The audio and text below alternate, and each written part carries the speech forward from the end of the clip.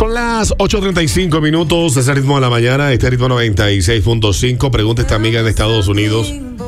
Consejos para gringos que van por primera vez. ¿A Santo Domingo? A Santo Domingo, a República Dominicana. Viene, tú sabes que el viaje incluye, viene con todo el paquete incluido, viene capital. Después de la capital, trae consigo el Principado. El Principado. ok. El Principado, sí, trae el Principado de Punta Cana. Pero en el Principado no hay que dar mucho consejo, porque uh, usualmente al Principado tú vas, te hospedas en un hotel Y ya. y hay como una hay como, hay como un decálogo de cosas que hay que hacer en Punta Cana, sí o sí lo sabe todo el que ha ido. Pero aquí en la capital, por ejemplo, que viene por primera vez, si vas a ir, mira, yo lo hice esto con mi amigo el pollo y su esposa Yulisa y el pollito hace ya como dos semanas. Eh, fuimos a caminar para la zona un domingo en la tarde. No te recomiendo de noche, tú has ido mucho a la zona, pero eh, un domingo en la, eh, puede ser un día de semana, un día que haya sol. Entonces te lo lleva para el parque, la zona de donde está el Parque Colón, ahí está la vaina del ron, cerca Sí. de lo del cacao.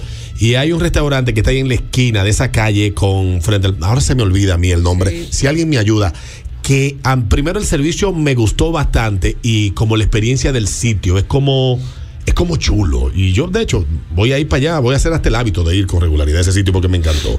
Llévalos ahí también lo lleva para la calle de los restaurantes antiguos, ahí está Bo- Boche Perico, la otra vaina del frente. Sí. Ya, Eso, imagínate, porque eso lo aquí en Santo Domingo, aquí no hay mucho que hacer. Aquí no. Lleva no. al programa de Bebeto TV, después lo lleva a una fiesta esa de los años dorados del merengue. Y si puede también darle la experiencia de Bonje. Ay, Bon- sí, el sí. Pero claro. no bailen ninguna gente adulta que está ahí, porque ya María Angélica y unas amigas infartaron a un señor Ay, que se le puso malo. María Angélica, por Dios. ¿A por quién la manda ella? Yo no soy baúl de nadie. ¿Quién la manda ella a decírmelo a mí? Ya tú sabes. Hace ya un tiempo. Y María Angélica que no sabe bailar. No bailen esos viejos. Esos viejos tanto hito es a tiro de ji, ¿eh? que alquilen una bicicleta en zona bici se, gona- se goza muchísimo, es económico eh, y la verdad que vale la pena. Yo fui con mami y mi hijo a- a- la última que fui a la zona y gozamos muchísimo montando bicicleta y sale bien económico. Son las 8.38 minutos de ese ritmo de la mañana. Buenos días, Alberto. Buenos días. chicos. Hola. Alberto, discúlpame. Yo quisiera que tú me repitas el nombre de la persona que escribió el artículo que leíste, porque vale la pena tenerlo a mano. Está en mi Twitter, yo lo tuiteé. Ella se llama, déjame ver, rápido, rápido, pero no te mucho, Alexandra Pumarejo. Escribe en el periódico El. Tiempo de Colombia.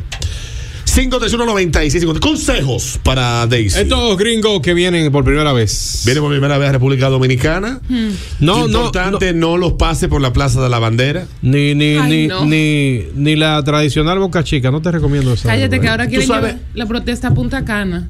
Pa- En la rotonda. Por favor, háganlo en la rotonda o en la entrada del aeropuerto de los Rainieri. entrándole, entrándole a palo al sustento. Haga, haga, háganlo en la entrada del aeropuerto de los Rainieri. Y me cuentan. Ustedes me cuentan lo- lo- los Avengers. Y después me mandan los videos. Buenos días. Dale, buenos días. Hola. Buenos días. Que lo lleve a comer. Aló, buenas. ¿Cómo? Que lo lleve a comer arroz.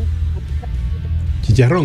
Sí, es verdad. Si no son de estómago muy sensible, dale la experiencia del chicharrón de ahí de la. ¿Cómo se llama? La Cayetano Hermosén. ¿No la Bueno. José Contreras? Esa no, eh, ¿Cómo es que se llama esa calle al final? ¿Cayetano Hermosén o José Contreras?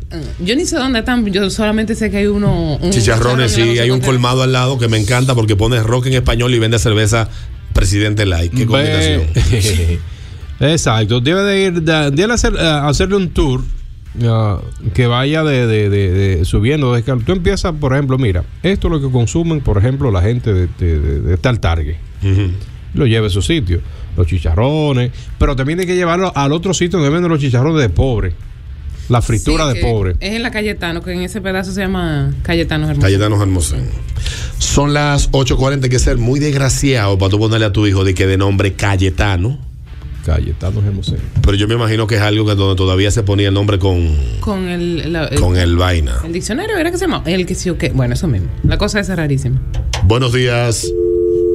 5319650 es el ritmo de la mañana. Estamos hablando a esta hora de consejos para esta amiga que trae a unos familiares gringos por primera vez al país. Hola, buenos días. Hola, Hola. cariño. Sí, la Cayetano es toda la calle que va paralela a la del Mirador.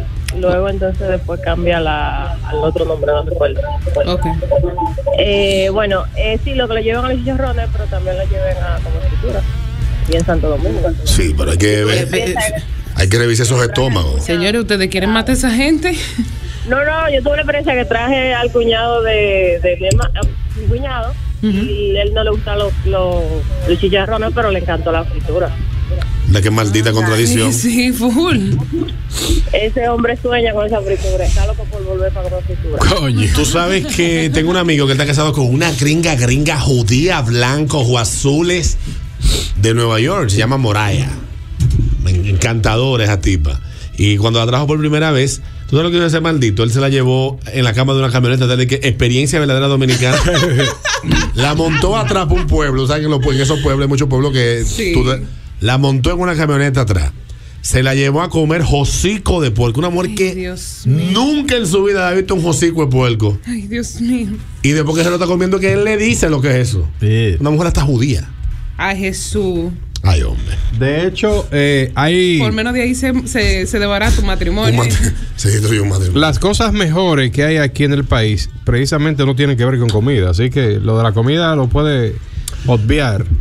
Pero hay otros tipos de cosas que tú puedes enseñarle a tus, a tus gringos. Pero tú sabes que aquí hay muchas experiencias que, que yo creo que, ah, siendo República Dominicana un país que tiene el turismo como principal empresa, ya yo lo he dicho varias veces, aquí en la ciudad hay pocas experiencias que tú puedas, eh, que tú puedas eh, recomendar. Sí, es verdad. Que sean experiencias, pero de, de- de la isla. Y Bueno, por no eso- Porque en Puerto Rico hay todo un tour que tú lo puedes encontrar en cuando tú alquilas un Airbnb o algo, te llega, siempre te mandan el, eh, no sé si eso es patrocinado, que, que es un tour que tú conoces, por ejemplo, el Parque del Yunque, la vaina, todas esas, esas La- cosas. Bacardi, Parque del Yunque, eh, tú tienes experiencias eh, en yate, eh, muchísimas, Sí, y muchísimos tú, tours. Tal vez yo, como aquí no hago turismo, el turismo que hago es de otro tipo. No, aquí hay un chuchutren. No, Eh, pero pero aquí en la ciudad y cerca de la ciudad nos faltan como opciones así, pues no Bueno, puedo de hecho, acuérdate tú que unos años atrás el turismo de la República Dominicana se concentraba aquí en, la, en, en- en Santo Domingo. Estamos hablando a principios de los años 80. Entonces, ¿qué pasó con eso? Ah, bueno, se descuidaron las autoridades, qué sé yo, no sé.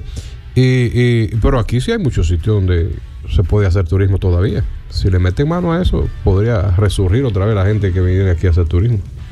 Eh, hay un problema muy importante para mí y es la seguridad del turista. Tú sabes, como que a mí, yo lo prefiero en la zona porque lo siento como están todos juntos aquí, vamos a cuidarlo, ¿entiendes? Todavía estoy esperando que me digan el nombre del restaurante. Me pregunta Roberto Santaella que si estoy hablando de Café Conde.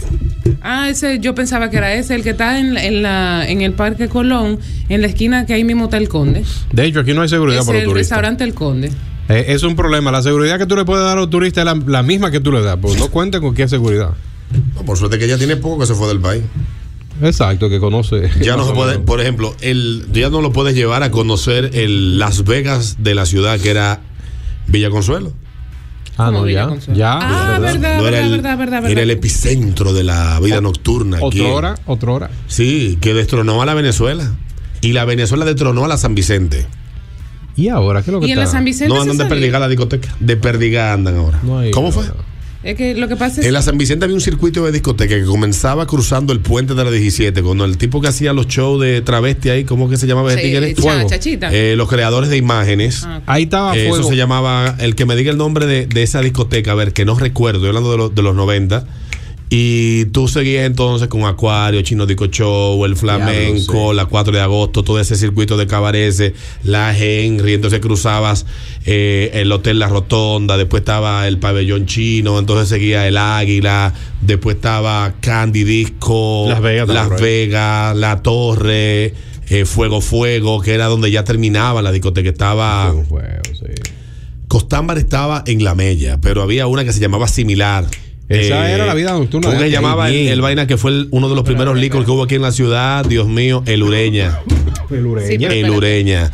Antes del Ureña había eh, eh, un carwash que está en la Costa Rica con San Vicente. O sea, el tigre de que estaba parado grande, ese se llamaba Osai. O- Osai. Que el Ureña- Yo recuerdo ese. O sea, El Ureña está ahí. Un circuito discotequil que había en la Venezuela. Y luego vino la San Vicente y lo destronó. Yo, tú sabes que, bueno, yo no. Cuando la Venezuela era la Venezuela, yo llegué ahí una vez a un cumpleaños.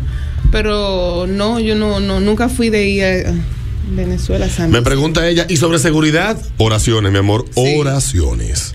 Nunca salga, a Dios. nunca salga de tu casa con ellos sin encomendarte al manto divino y protector de Jesucristo. Así es. Tú prendes. Hay lugares muy seguros. Por ejemplo, yo te recomiendo ir de día a la zona Sí, colonial. la zona es segura. En la zona segura de día, no puedo decir eh, eso de noche. Eh, Dice por aquí mi amigo Gárgola que el lugar que yo digo se llama Topacio. Topacio, Ciertamente. Disco Club. Y bueno, el Conde Peñalba, así se llama la cafetería restaurante, tiene un hotel también chulísimo, sí es cierto, gracias a Ámbar, eh, si tenía razón el señor Santaella.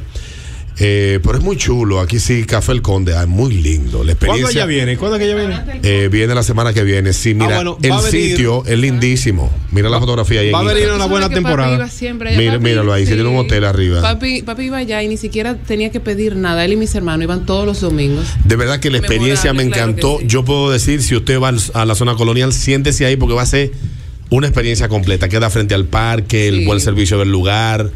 eh, Es el aspecto del sitio también es chulísimo. Y yo creo que eh, hay algo que para mí es vital cuando yo voy a un lugar para yo tener una buena o mala impresión, es el baño. El baño es impresionantemente impresionante. Yo que he ido a muchos lugares en la zona colonial que el baño parece que lo sacaron de, de, de Cuba. Tú sabes, y pidan la bolita de queso, que la bolita de queso del restaurante El Conde, señores. eso Sí, es lo mejor. no lo deje de llevar al restaurante El Conde, eh, que es una experiencia chula. Eh, son las, el Café El Conde, 8.47. Las últimas dos llamadas. Consejo para esta amiga que trae familiares por primera vez gringos a República Dominicana. Sí, que se levanten tempranito y se vayan a la pulga del 12 de la Independencia. Coño, la pulga. compra. Un Sí, verdad, es verdad. Estamos en compra ecológica, ¿verdad? Tiene que llevarlo a la pulga y a la Duarte, sí. La Puglia. Para que se dé ese bañito bien sabroso. No, eso no es un baño, ¿no? Eso es ahogarse en el pueblo. El Fortuna se llamaba el carwash que yo estaba diciendo ahí en la Costa Rica.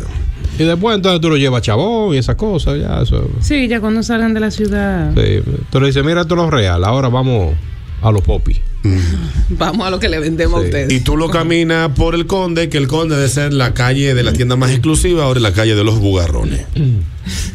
Qué feo del conde. Horrible. Estaba el domingo allá. Horrible. El Conde debería de haber como un, una alianza público-privada y que ahí se den algunas exenciones y se convierta como así como en la calle de San Sebastián, que está llena como de bares y cosas. Ay, sí, estoy y tiendas y vainas, y que se pueda recuperar todo ese esplendor que tuvo Bueno, eh, cuando uno tenía 15. Yo iba al Conde y a ver a- por las vitrinas, pero las tiendas eran impresionantes y también los restaurantes y los Sí. cafés que habían ahí.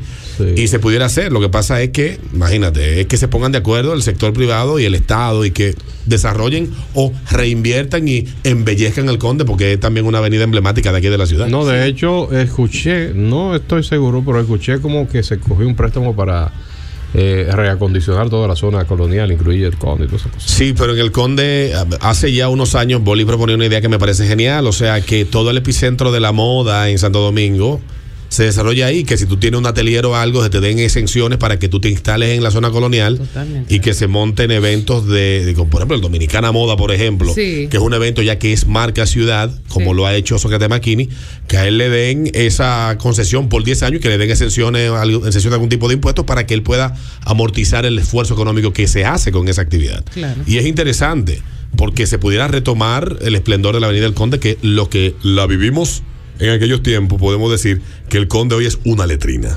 Así es, ahí nada más se vende libro viejo y, y, Y, y puca. y- y- y gente pidiendo y Bugarrón ofreciendo sus servicios. Dios mío. Saliendo de la mañana, Hemos estado analizando los comunicadores más valorados de la radiodifusión dominicana. Y vamos por buen camino. Ninguno trabaja en el ritmo de la mañana de Ritmo 96.